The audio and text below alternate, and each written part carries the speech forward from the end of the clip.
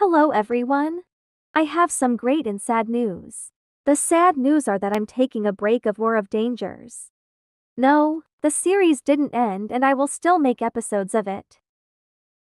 The break is that I will make memes for the couple of days or weeks so I can improve my animation for War of Dangers. So if you like, you can comment meme ideas. So far I'm only thinking to make the mirrors and booyah memes. And if you want, you can make edits, fan arts and gifts for me. It is completely fine if you don't want to. Now, for War of Dangers. I will probably make an entire script. And if it's possible, I will make season 3 voice acted.